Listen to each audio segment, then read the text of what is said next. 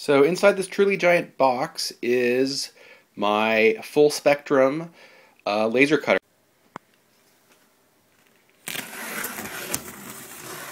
Oh. There she is. It's so big, it's hard to get it all in frame. So let's take a peek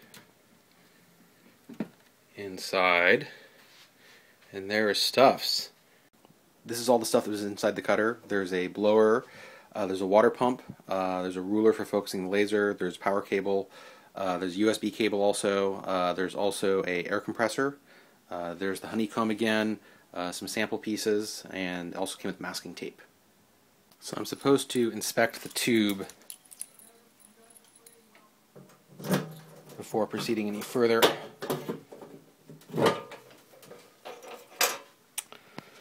Wow.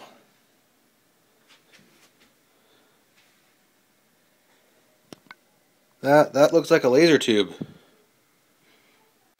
Okay, first curiosity. There is a hose clamp there, and uh, looking at the documentation, it mentions a hose clamp. As often we will ship the laser with the hose clamp and the right round rail, which, which, which I should remove. I've decided to uh, replace the uh, the fitting on the water pump. Um, the one that came with it, this guy seems highly questionable. I was really concerned that the uh, the tubing might slip off, and uh, that could be bad because if it runs without water cooling, that could destroy the tube. So I've got some stuff connected here. Um, got some uh, ventilation tube going outside. Uh, that is something I had to purchase. I wasn't expecting to, but it wasn't that expensive. Um, I've got the air pump down here. I've got a bucket uh, of five gallons of water, uh, distilled water, um, and that's getting pumped by a pump inside of it uh, to cool the laser.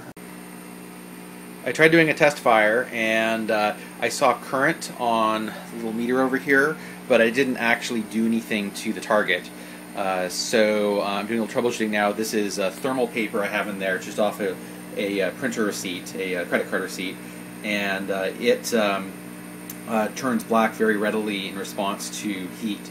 So what we're going to do is we're going to crank the laser way down, turn up a little bit, and now we're going to do a test fire and see if we can figure out if that laser is actually going someplace. Do not see anything there. I'm going to crank up the current a bit more. There we go. Hey, okay, so there's a laser there all right.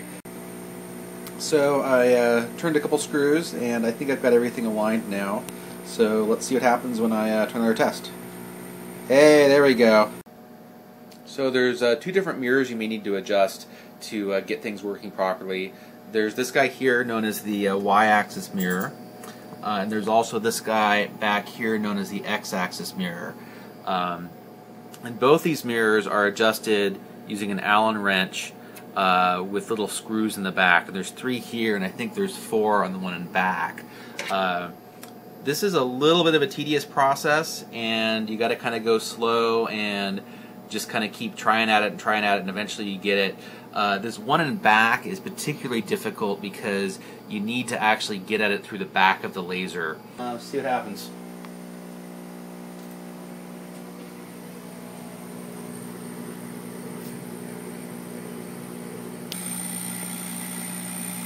Not quite there yet, but it's a start.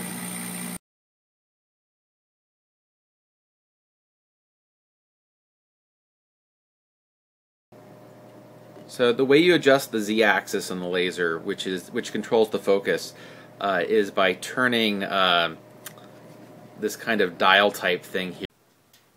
Counter little issue with my z-axis is uh, one of the uh, supports isn't uh, isn't turning. So you see these guys here, how they're turning, and this guy here, when the so this is the uh, the culprit.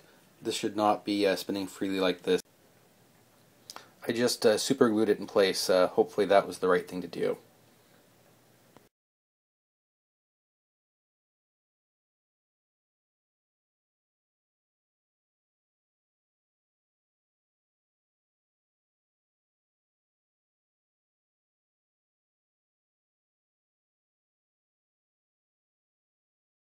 Okay, so I figured we'd do an actual little test cut here. Uh, what I've got is I've got Inkscape up, uh, and you can use CorelDRAW or any other uh, vector-based drawing program for this. Uh, but I've got a line here, an outline of blue, and then I've got uh, RAR uh, in the middle in black. And what we're going to do is we're going to etch RAR in to the lion, and then we're actually going to cut out the line afterwards. So what I'm going to do is do File Print, pick the full spectrum driver, do print, and that's just going to send that over to um, Full Spectrum's uh, Retina Engrave app. So what we're looking at right now is we're looking at raster engrave view, and you can see we see both the line and RAR in there. Do the raster engraving first. I think everything's lined up, so let's hit, uh, let's hit go and see what happens.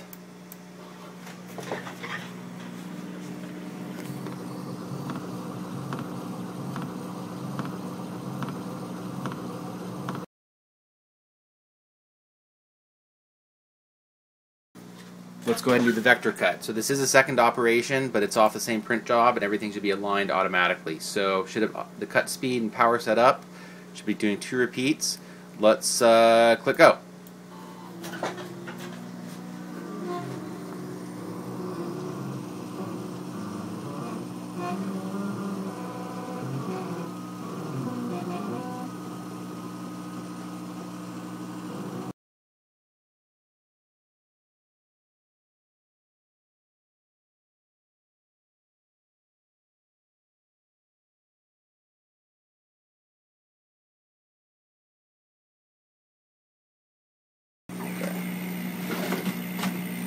Did. Oh yeah, that's what I'm talking about.